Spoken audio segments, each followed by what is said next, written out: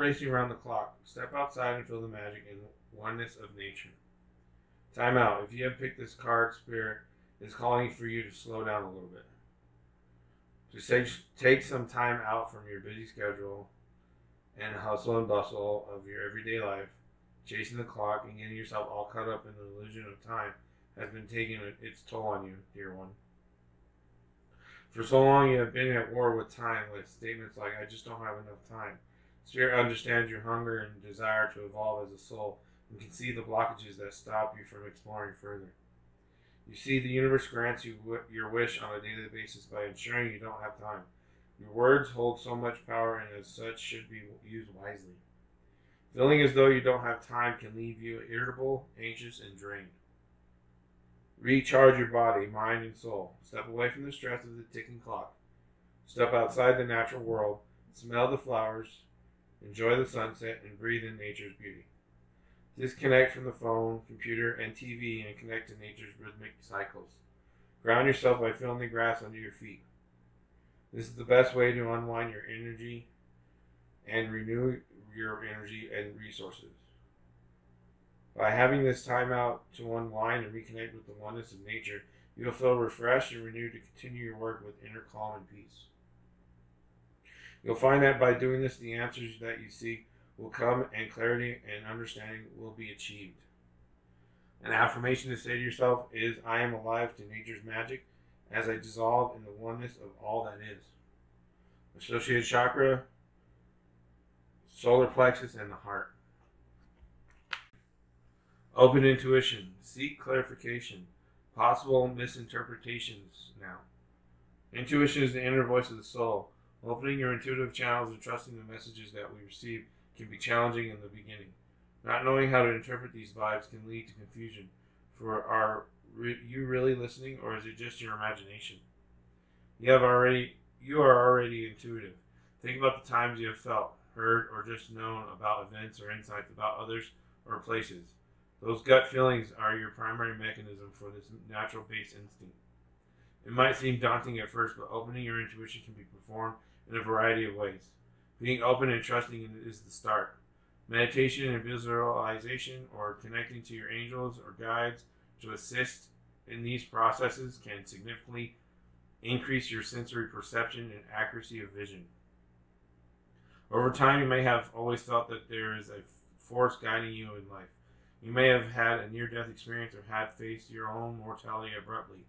These moments can trigger a forceful opening that can be challenging to comprehend and understand if you've had no prior awareness of them. You may be experiencing unexplained headaches, migraines, or sinus complaints. This area around your third eye and crown chakra is currently stagnant or blocked and needs to be balanced. Right now, you must learn to decipher this internal guidance. You're receiving many messages but are misinterpreting their meaning. Focus on clearing your mind and resting your psyche, psychic antenna. Remain open to receiving signs and messages as you continue to build your skills using clairvoyance, clairaudience, clairsentience, and claircognizance. Keep an intuitive journal and record those vibes or promotions you feel you receive. Observe these moments without judgment. Reflection will bring your confidence and help you understand and configure your interpretations of symbols, signs, and verbal messages. Be careful of the shadow aspect of this card, which is potentially having misinterpretations, uh, some kind of disorder, or being manipulative, or someone being manipulative to you. Uh, sacred crystal is lapis lazuli. Angel assistance is Archangel Ratziel. Mystical knowledge, strengthening sensory abilities. An affirmation to say for yourself is I am open I am an open channel for my soul to seek its guidance. How teachable are you? Are you open to learning new things in your life? How high is your desire to let go of judgment, doubt, negativity, and self sabotage?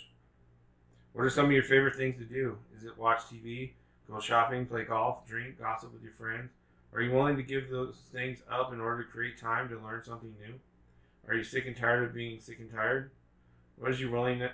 What is your willingness to really apply what you learn? You might be learning many new things, but be resistant to change. Every time you begin to think, I already know this, I've heard it before, this doesn't apply to me, Your ability to learn dim- diminishes enormously, and it is at a point. At this point, you may become virtually unteachable without realizing it. Unless you apply what you have learned into your life, you won't really know it. This card is beckoning you not to only be open minded, but to take specific action towards change. An action for this is to change, to create change. You need to start with something small, like the way you pour your tea, brush your teeth, something simple. Eventually, you will change your habit. This builds confidence as you start working towards the big changes you need to make. In the next 48 hours, take a step forward towards changing some area of your life. This could be something small like buying a journal to write your dreams in, or talking to someone about your transformation. Then every day, do something, even if it takes only a couple of minutes, towards creating positive transformation in your life. Another thing you can do is ask yourself many times during the day Am I teachable right now? Or do I think I know it better? People who are the most teachable, experience the most success in their life. All right, so that was the basis of your uh, met of the message or the reading or the guides or the foundation in which you'll be um, moving through life in September or dealing with life in September or um, obstacles, uh, your goals, desires, whatever. This is the foundation. This is the basis. These are the guides. These are the supportive energies helping you in the pyramid stay up, right? Stay upright. Recognize the connection. There's also a diamond here. There's also a pyramid here and a pyramid there, right? So just see the clues here and see how this is, is where everything stems from for you in September. So you have an, a need to take a, some time out by having an open intuition because um, you're going to be potentially very stubborn um, Aries in September because you're it's like how teachable are you? Are you willing to listen? Do you think you know it all? Um, even if you do feel like you know give it a chance to act like you don't know it's not going to hurt anything to act like you don't know and go through the dance with somebody and then you know come out on the other side thinking well I learned a little bit, or I learned nothing at all, or whatever. It's still an experience either way, but give it a chance, right? Don't just shut it down right away and put up blockages or whatever because you're being stubborn and you're angry or you're upset or whatever it is. So that's why you probably need to take a time out and like go sit by a river or a stream or take a walk do something to get out and open your intuition by seeking your own clarification and unification with yourself.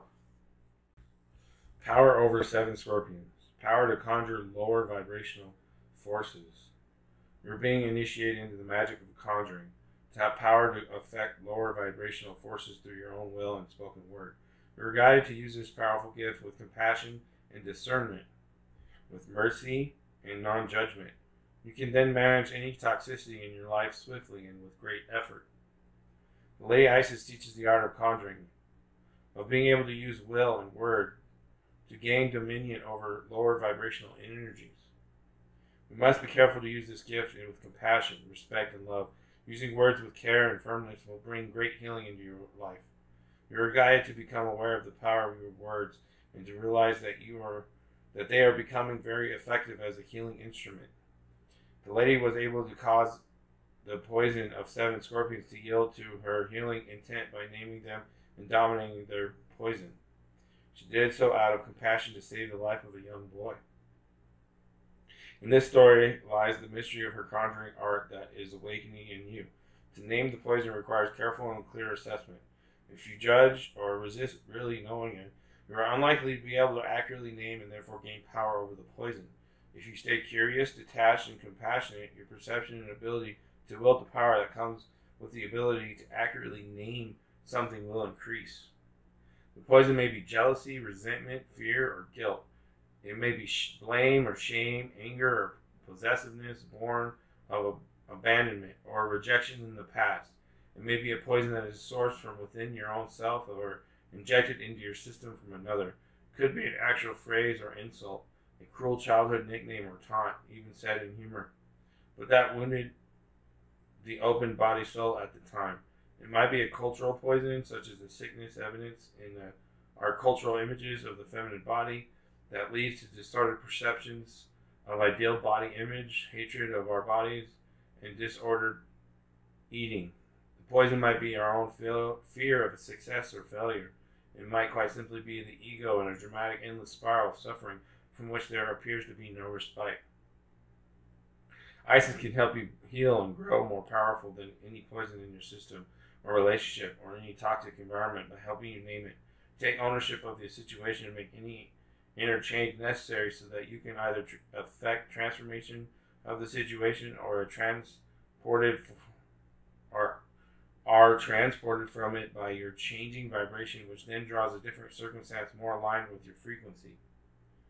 Conjuring and dom- domination in this art do not occur by force.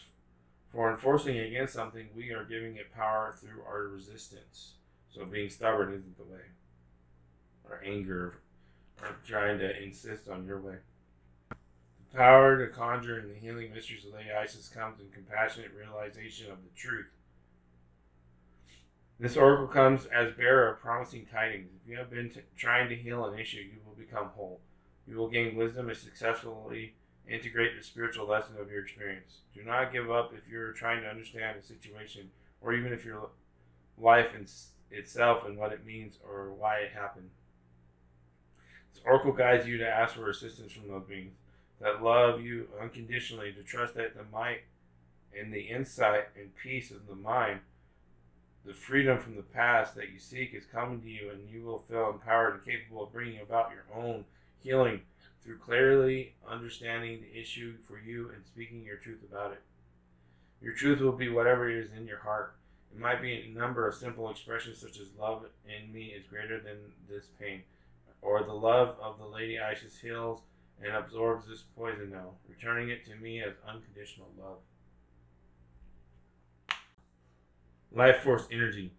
Energy, mana, aina, aina, the rainbow spectrum, bright white light, Reiki, celebrating life, God force, optimal health, being vibrantly alive, thriving nature, conscious consumption, Eden, the body as a temple, bringing earth into balance, cell rejuvenation, the love of the land.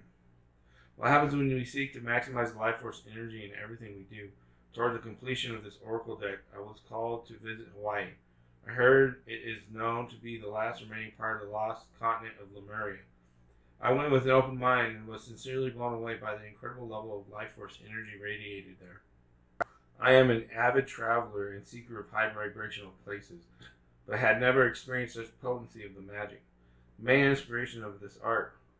In every cell of every bright green leaf, I could sense the songs of Lemuria in this pristine place. I discovered I had been dreaming of this place my whole life. The crystalline waterfalls, rainbow diffused skies, exotic flowers, and opulent plant life was so present that you couldn't help but see a radiant aura around everything. Ana, Ana is a Hawaiian term for energy and sacred land. It seemed to me that Mana and Ana are one and the same. One day, when I was sitting on Red Sand Beach, I had a vision of an overlaying dimension that spanned our physical world. This overlay was the God force of, or the life force, or in its purest form and highest vibration. The vision presented an array of objects familiar to this physical plane from lower vibrational concrete, processed chemicals, and suffering imbued consumables, to the higher biodynamic earthly offerings and the vibrant lands that surrounded me at that moment. The experience imprinted the depths of me, of my being, with the remembering that we can bring this beautiful blue planet back to its former glory, starting with our own temples and personal pieces of Eden. I realized that maximizing one's life force energy was the gateway to bridging heaven and earth. By aligning our choices with this higher frequency, we will naturally create more opportunities to ground this somehow forgotten light when we know the joy of this life force within and around us and are vibrantly alive. We can't help but inspire others to choose the same. All right, so that was the second tier. Uh, this is pretty much representing what you can work, do, what you can focus on, what you need to put your energy towards. So whatever you've been doing in, uh, in August, in September you need to add a little more oomph and funk to the spiritual aspect of your life. Um, keep doing what you've been doing. You're fine. Don't stop, but take a little bit of time out. Don't stop everything and just go away forever and time out land. No. Take a little bit of time out. Whenever you have an opportunity and go into nature. Okay? Power over seven scorpions. Aries, you tend to have a natural power over what the card was talking about with poisons, right? You, you can it could be for good or bad, whatever you decide, right?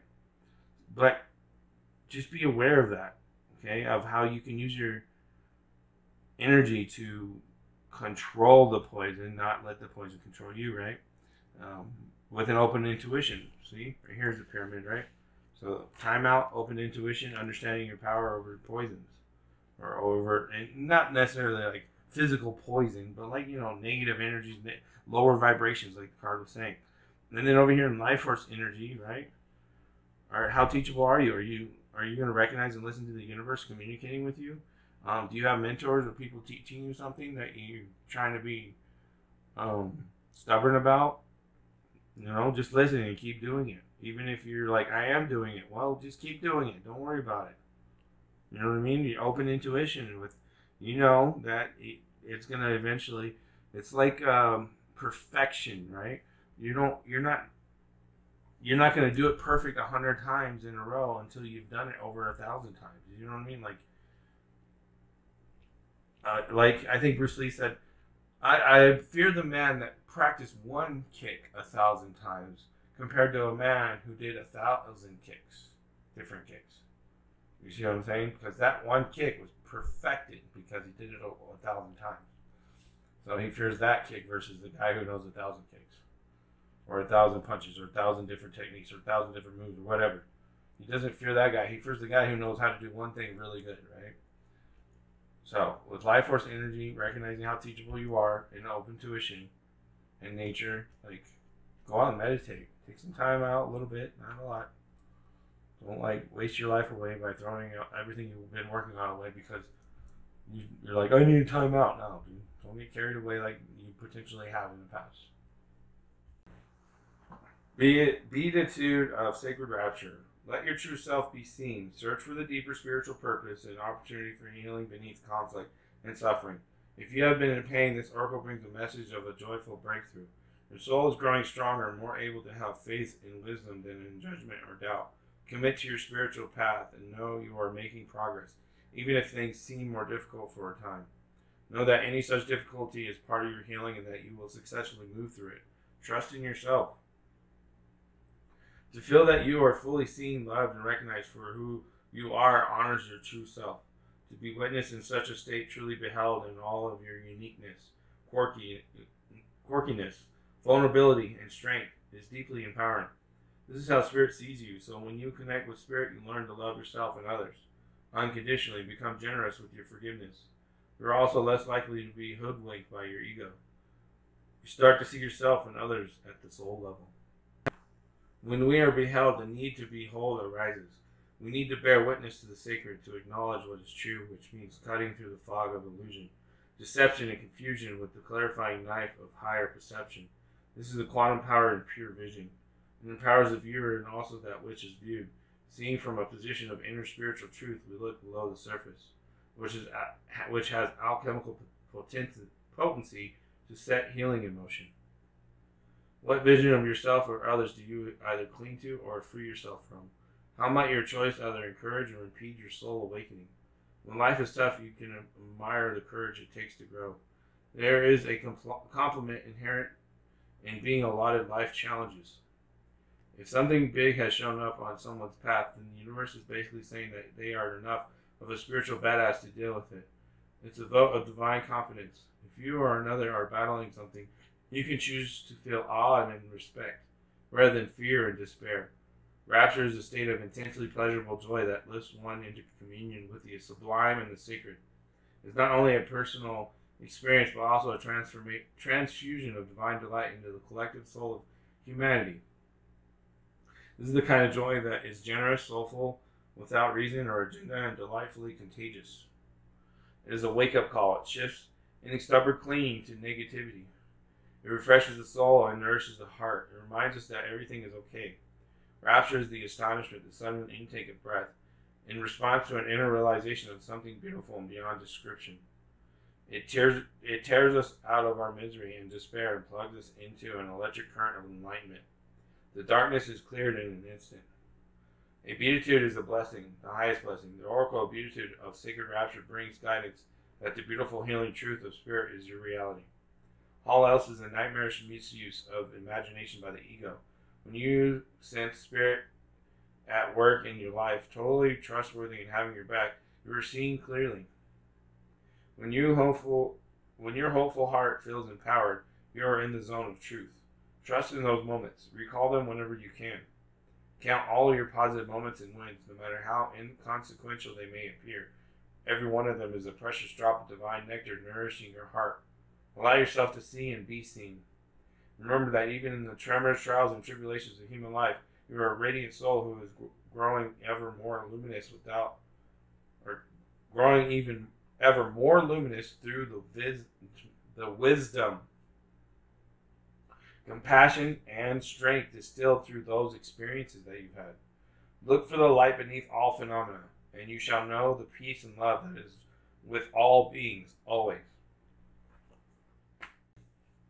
All right, so the top of the pyramid, the top tier, is your higher self, God, universal consciousness, quantum physics, quantum physics, um, of the unified field, the force, whatever you want to believe in, all that good stuff. So it's a co- um, correlation or coin, uh, not, uh, coinciding with the bottom two cards here and the diamond right here. So an open intuition, beatitude of sacred rapture, top and bottom of the pyramid of the the diamond, and the sides of the diamond here. What you need to work on, what you need to focus on.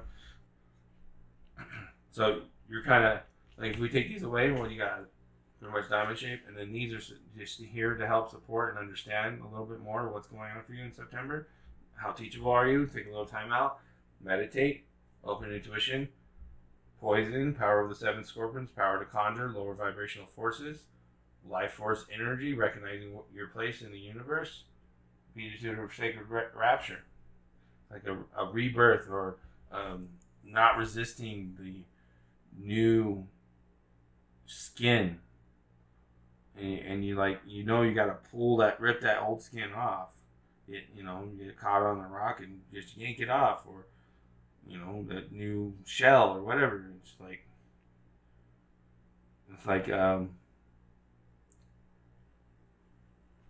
coinciding with divine masculine and divine feminine in the peaceful harmony of universal connections. Hey Aries, this is your October Oracle reading for 2021. Aries, October 2021.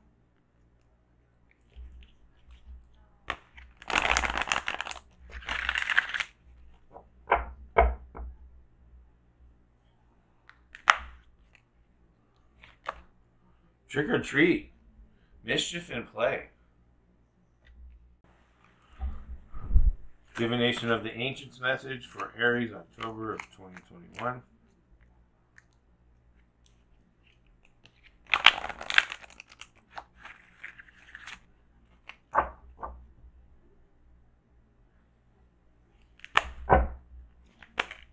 Fortune cookie, fortuitous.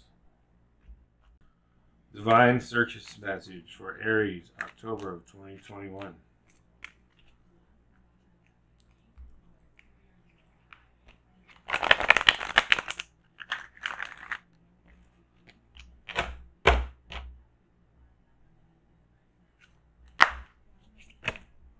Haven of Masks, or Maven, sorry, Maven of Masks. Sacred Rebels message for Aries, October of 2021.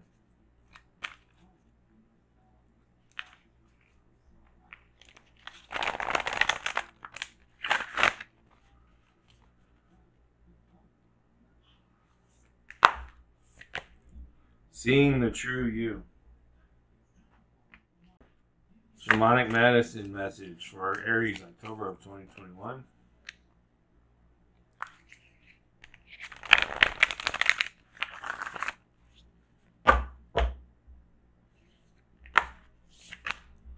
Dreamweaver, accessibility. Mystical Shaman message, October of 2021.